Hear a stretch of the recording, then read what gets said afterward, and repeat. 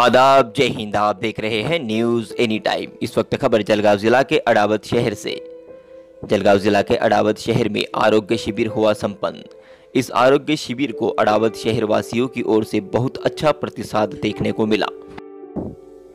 Jalgaon Covid care unit द्वारा लिए गए इस आरोग्य शिविर में जमीयत उलमाए हिंद अडावत शहर इसी के साथ साथ अडावत शहर के सामाजिक कार्यकर्ता, युवा, प्रतिष्ठित नागरिक तथा मान्यवरों ने बढ़ चढ़ कर अपना योगदान दिया। अडावत शहर में जहाँ कोरोना पॉजिटिव मरीजों की संख्या अर्धशतक यानी 50 के पार हो गई है, ऐसे में इस शिविर का आयोजन एक मील का पत्थर साबित हो सकता है, इस प्रकार की आशा आयोजकों द्वारा व्यक्त की गई है। इसी के साथ साथ शिविर के बाद लोगों के दिलों से कोरोना का भय निकल जाएगा।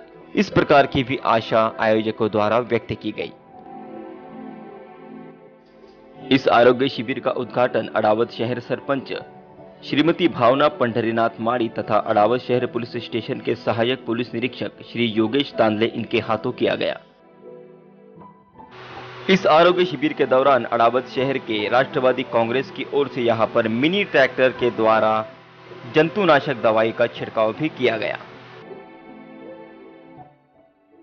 कार्यक्रम में प्रमुख रूप से जलगांव शहर से physician doctor Pandit, covid care unit अध्यक्ष हाजी अब्दुल गफ्फार मलिक, मुफ्ती अतीकुर रहमान साहब, इसी के साथ साथ जनसंपर्क प्रमुख फारूक शेख, डॉक्टर जावेद अडावत उप सरपंच अमीन रजा, मौलाना जियाउल हक, सैयद रियाज अली, ग्राम पंचायत सदस्य जावेद हबीब खान, माजी उप सरपंच अल्ताफ खान, हाजी फजल सेठ, इसी के साथ साथ हाजी रऊफ खान कुरेशी हाजी कबीरुद्दीन दिल फरोज, हाजी शेख जहीरुद्दीन शेख हाशम, शेख शकीलुद्दीन फरीद मेंबर, श्री दिनकर देशमुख, हाजी अब्दुल रज्जाक मन्यार, फारूक पटेल, शेख ताहिर मन्यार, शब्बीर सर, शेख बाबू आदि रहे उपस्थित।